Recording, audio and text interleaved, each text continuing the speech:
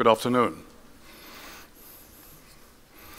This is uh, Earth, our planet, with its um, oceans and continents, with uh, 7 billion people. That means 7 billion living human bodies, and that makes a lot of human mass. This human mass is being used by viruses and bacteria as a feeding grounds, causing infectious diseases. Infectious diseases are playing an evolutionary game with us, a game on life and death. Plague has killed half, nearly half of the European population in the, in the Middle Ages. Spanish flu has killed 100 million people hardly a century ago, which is the equivalent of 100 Hiroshima bombs. And Ebola is just a striking example of new diseases on the rise. Now, back to the individual level. All people, all, all individuals, as you are sitting here in the room, you have three ways to escape diseases. The first way is to, to keep a physical distance because physical distance always is the best possible uh, protection against any danger. The second way of escape is being hygienic. That means washing your hands and so on. The third way of escape is be sure that you get your vaccinations because Vaccinations are artificial infections, and hence um, is, is mimicking nature. And mimicking nature is always a smart thing to do. Mimicking nature leads always to a better solution. However, many people uh, are not being vaccinated uh, around the world, tens of millions of people do not get their vaccinations. And how does it come that those tens of millions cannot be reached with vaccines? And that is because of, um, of the logistics of the, of the current system using syringes and needles. And because the, these people cannot be reached, common diseases like tetanus and diphtheria can play their evolutionary game with those people, killing every day 18,000 of them. The reason why the logistics are not, uh, do not reach all those peoples is that it's a huge logistics of the syringes, which is, contains the vials, syringes, and those need to be transported from the site of manufacturing to uh, to the medical centers in the, in the countries. And from there, in fact, the vaccines need to be distributed further around the countries. The biggest problem in the logistics, however, is the cold chain. That means vaccines need to be transported from the vaccine manufacturing until the moment of injection. Uh, they need to be transported and kept cool at a cool temperature about 4 degrees Celsius.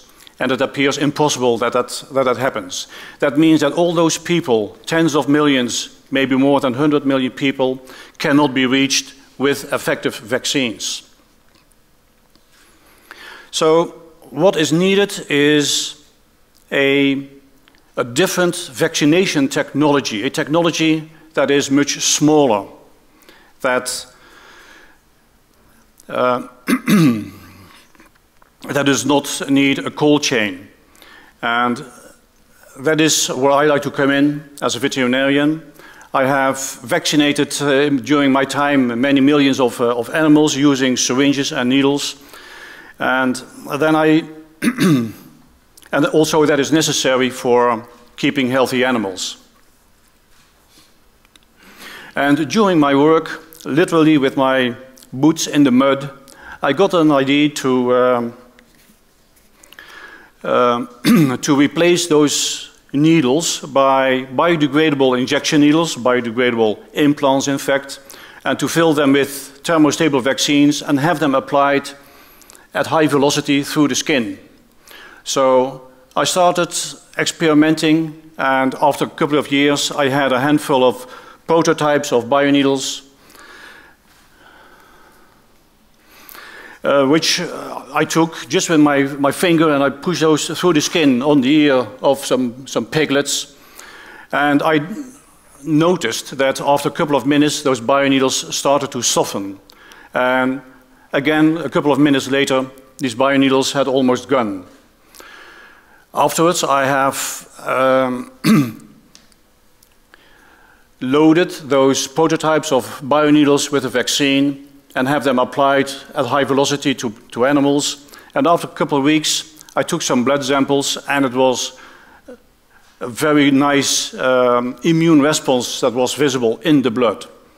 And such a response, an immune response, is the best possible indication that vaccine pre-filled bioneedles might well work. However, it was a very expensive hobby, and I left the hobby for a while until I got the chance to present BioNeedle, my, my concept, to the World Health Organization in Geneva. And still during the, uh, my presentation, people of, of the World Health Organization told me that if I was able to adapt the BioNeedle concept for use in humans, then BioNeedles would solve all the problems UNICEF has and the other organizations such as Doctors Without Borders. So I went home, um, I had to think. I found some funds, quit practice, and start my own laboratory. And after a couple of years, I, I have been able to, uh, to produce, uh, to, to, establish the production processes of the biomaterial and of the, uh, of the bioneedles. This is a bioneedle. I'm going to show you.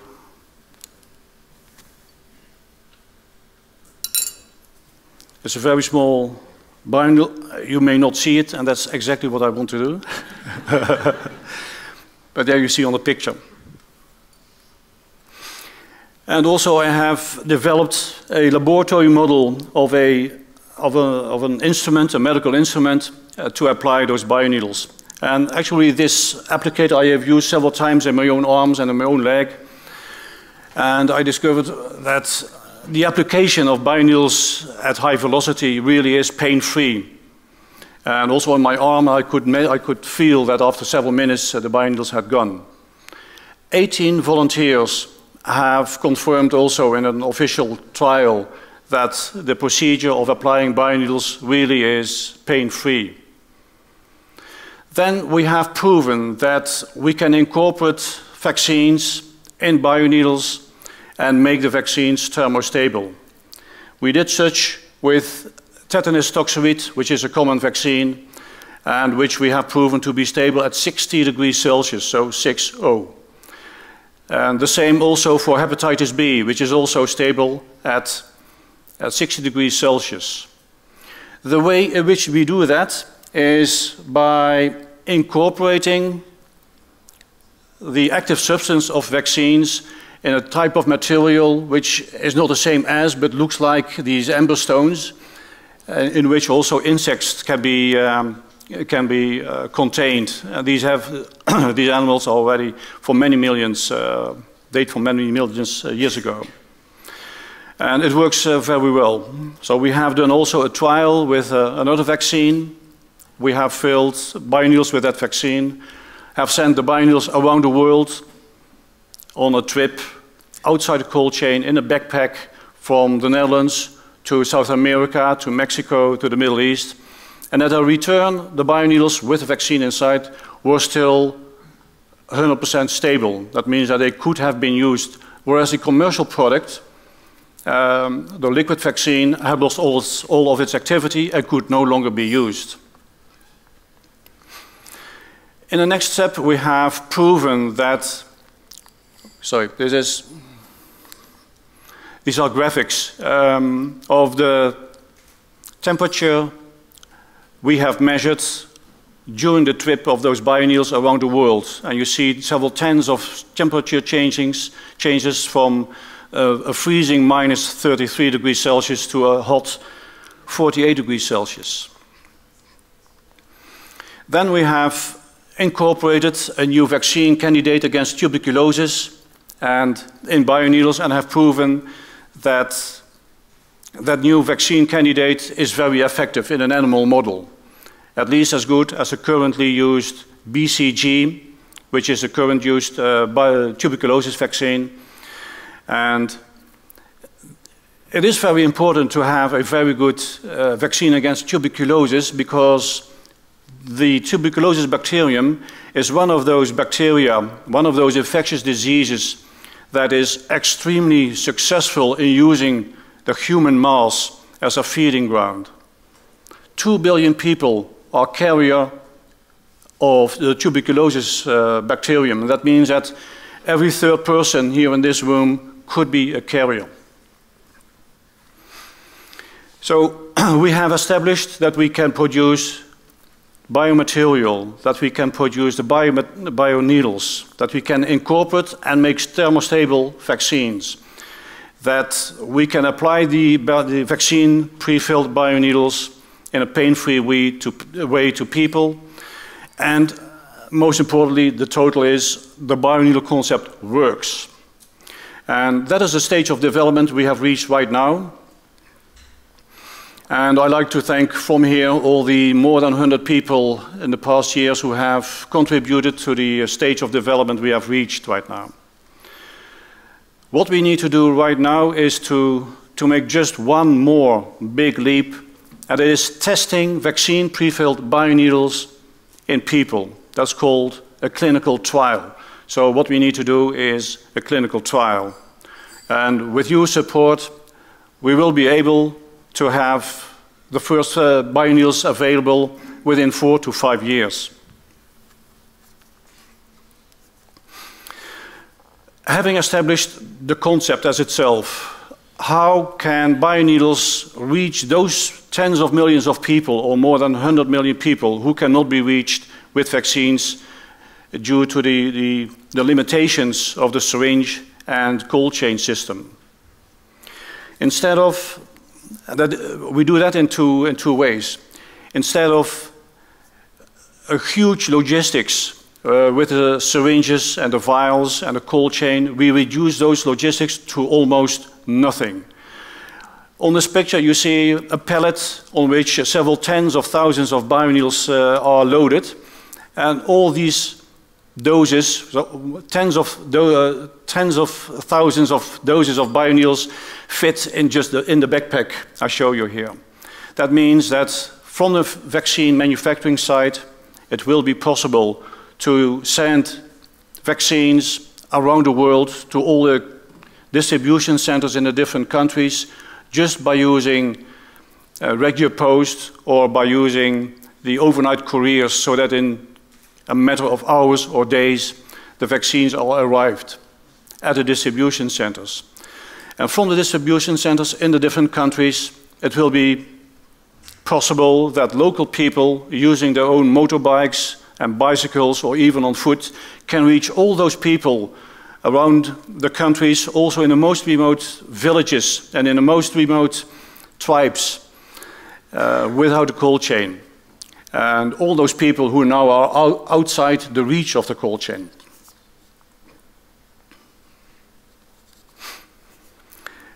Besides the advantages of the, of the logistics, the easy logistics, and the no cold chain, uh, the fact that it is very fast and pain-free. There are also other um, advantages. There is no wastage. That means nowadays, due to the failing cold chain, hundreds of millions of doses of vaccines are wasted and can no longer be used. We have no, no, um, no needle stick injuries Every healthcare worker who is involved in vaccination sticks himself or herself at least four times a year while, while recapping uh, the needle. And, at that moment uh, is a high risk of infection of hepatitis B or hepatitis C or, or AIDS. And we have no waste. The bioneedle disappears beneath the skin and we leave no waste, whereas with the syringes and used needles, it's a, a lot of, of um, it is a, a, high cost to dispose of this, um, of this waste. The speed of application has very important uses for practice. For example, one with a vaccinator. With one vaccinator, one applicator, uh, 1,000 people can be vaccinated in just one hour, whereas normally speaking, when using syringes, maximum 30 to 40 people can be vaccinated. So using the bioneedle system will allow to a team of about 50 vaccinators to vaccinate a whole refugee camp with 100,000 people in just one day. And if an Ebola vaccine had been available, and if bioneedles had been available, then the combination product, Ebola vaccine in bioneedles, would have made it possible to vaccinate a country like Liberia or Sierra Leone just in one or two days, cutting off the outbreak of the disease, preventing the panics and preventing big economic losses and social disruption. So what is needed is a different vaccination technology. Going back to the to the, the, the to our planet. Sorry.